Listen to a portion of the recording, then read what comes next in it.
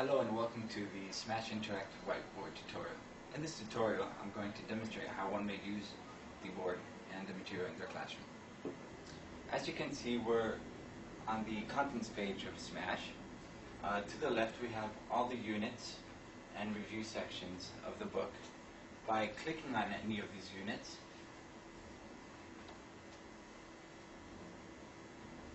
you are directed to the first spread of the unit selected.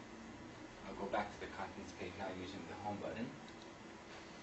Uh, as you can see, we also have tabs on the right-hand side of the board. These help you navigate through the material. So we have the exit button, which causes you to exit the program completely. We have the home button, which is actually the contents page. We have the help button, which provides brief explanations on all the tabs and buttons you need to use to navigate through the unit and make the material work. These two are particularly important because you'll be using them often. Here we have a play and pause button, which uh, links into the audio of the course, so you don't have to use your CD-ROM player, you can play everything off the board. Throughout the book you'll also see flags, uh, and these flags indicate that the activity has been made active, so by clicking on it, a pop-up window will appear with the activity inside. To exit this, I'll just press close. The bottom tab is the next button, which allows you to move forward and onto the next spread of the book. And of course, once you do that, we've also provided a back button which allows you to move backwards. Okay, so I'll go back to the content page by pressing Home. And to demonstrate how you might use uh, the material in class, I'll use Unit 4 as an example. So I'll press on Unit 4 in the contents page, and we're in Unit 4 now. Remember, once I'm in the unit, I can use the features of the software package, or I can use the tools that come with the whiteboard that you're using. In this case, we're using a smartboard. I'm going to call up the tools and select the curtain. I'm doing this because I want to draw my students' attention to a particular point on the page. So I'll draw this down and leave it here. At this point, I'm drawing their attention to the word Scotland, and this introduces the theme of the unit. So I'm, i may also ask them questions about Scotland and what they might know of it. After you've drawn their attention to the theme of the unit, you might also want to ask them questions about Scotland and see what they know and test their knowledge, or they can make assumptions. I'm going to pull the screen down a bit more to reveal the audio.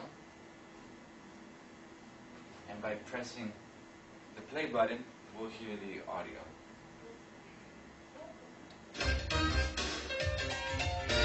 Unit 4, Lesson 1, page 34. The Loch Ness Monster. Reading.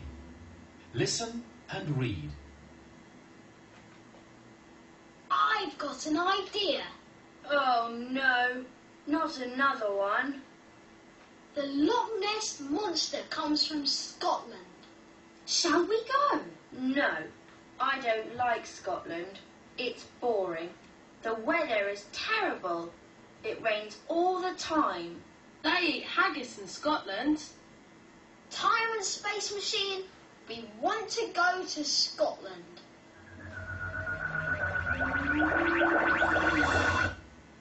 Remember, I can pause the audio anytime I like by pressing the pause button on the screen. Uh, I've paused it at this particular point because I want to draw my students' attention to the questions, comprehension questions on the other side of the page. By doing so, I can use my pen or my marker and circle the section of the book I want to draw their attention to. After this, we can work on the questions. I'm Going to exit the screen.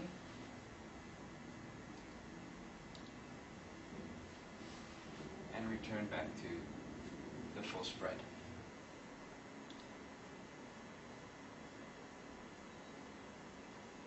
After students have completed the second reading comprehension exercise in the books, you can call upon this activity and check their answers.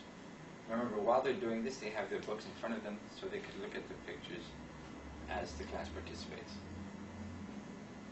So for one, there's a lot of rubbish, and to find the answer, we use the drop-down menu and select one from the list. You can actually you can have students call out the answer, or you can call the student to the board and have them select uh, an answer themselves. If they choose the wrong answer, an X appears. If they choose the right answer, it's placed on the gap. Close this. The, the next activity on the spread is a vocabulary activity, which I can call on by clicking on it. Here students need to write the opposites of the following words. We can complete this exercise uh, in different ways. We can ask students to call out the right answers, and we can write them in. So the opposite of small is big. We can ask a student to come up to the classroom and they can write them themselves.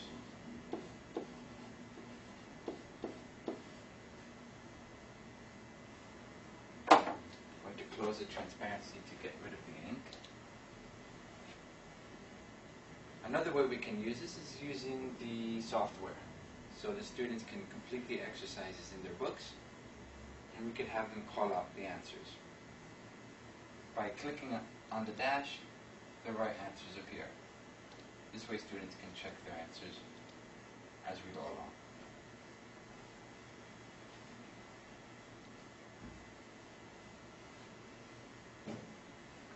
Next we have the grammar boxes. All grammar boxes throughout the book are made active for better presentation. So we'll click on this. And here we have the grammar boxes magnified for students to look at. There are different ways you can use the grammar boxes in the classroom. You can also use the smartboard tools to draw their attention to certain structures. I'm going to use the magic pen.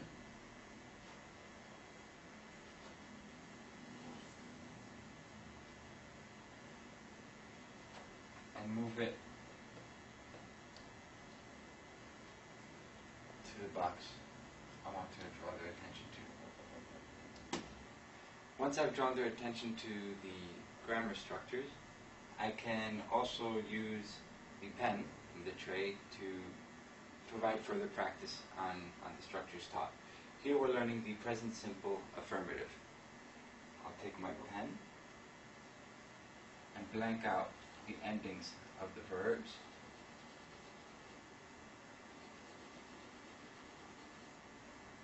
And ask a student to either come up and write in the endings themselves or call them out.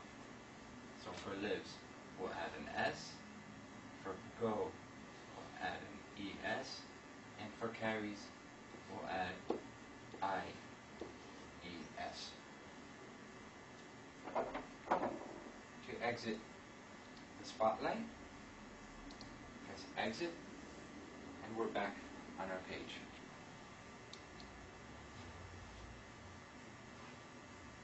I'm going to press next to move on to the next spread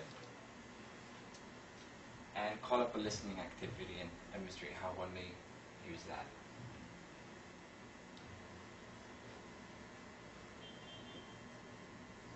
We've called up a listening activity. Uh, the activity is about Ewan McGregor and provides personal information about himself and his career. You can press the play button to have the audio come up and students can complete the exercise in their books. Unit 4, Lesson 2, page 37. Listening. Listen to the radio program about this famous actor and complete the information in the fact file. After students have completed their the activity, you can call upon them to call the answers out, and you can press on the dash, and the answers will appear. This way, they can check with they can check their work and see that what they've put is correct or corrected. Otherwise, you may ask students to come up to the board and they could write the answers in themselves using the marker on your tray.